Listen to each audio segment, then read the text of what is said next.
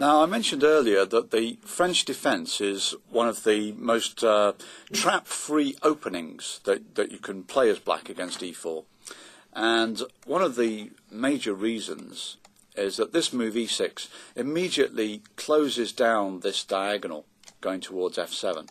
And uh, you know, most of the, the, the, traps we've seen on this DVD have involved uh, somehow white getting to the, the f7 square. So e6 is a, a very solid uh, reply because of this.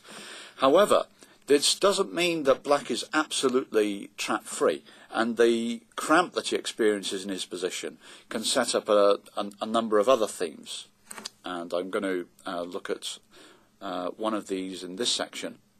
Now, we have in front of us a game between two very strong grandmasters.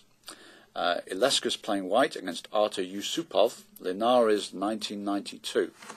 And this game goes as follows. D4, d5, and now white plays this move, e5.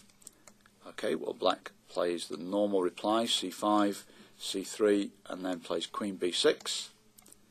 White goes knight f3, black goes bishop d7, white goes a3, and now black plays the pawn onto c4. So he wants to try and exploit these uh, uh, these weaknesses on the queen side, maybe getting bishop a4 to b3 at some point. And white in reply goes knight bd2, black goes knight c6, white plays g3, and then black plays knight g e7. Okay, well, I think this is another uh, appropriate spot to, to hand it over to you and uh, see what you think White's next move will be. You can pause the DVD at this point and take a look at the, uh, uh, the position and see if you can find White's move. Well, what White did at this point, now it looks as if when he plays g3, as, this, as if this bishop is going to go to g2, but in this position, Illescas uncorked this move. Bishop takes c4. And this is suddenly an absolute disaster for black, because if he takes back, then white's playing knight takes c4. And now this knight on c4 is attacking the queen. And when the queen moves back, let's say it goes here, white goes in knight d6 check. King's got to go here. And then this is going to pick up this rook on h8.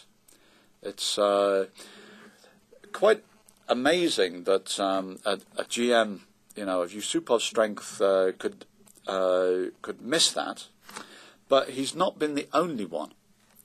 And a game between Zi Yun and uh, Akhsharumova, uh, two very strong female players, featured exactly the same theme. They had this position c3. Black now played knight c6, white went knight f3, bishop d7, white went bishop e2, queen b6, and white played a3, and black now went c4, white played knight bd2, knight g7, and exactly the same thing happened. Bishop takes c4. Equally fatal for black. d takes c4, knight takes c4, here, knight here, check, king here, check, etc.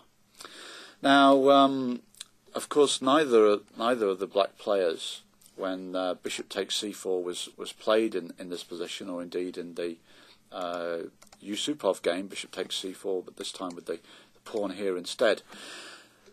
Neither of them were able to capture the bishop, and they just played on a pawn down.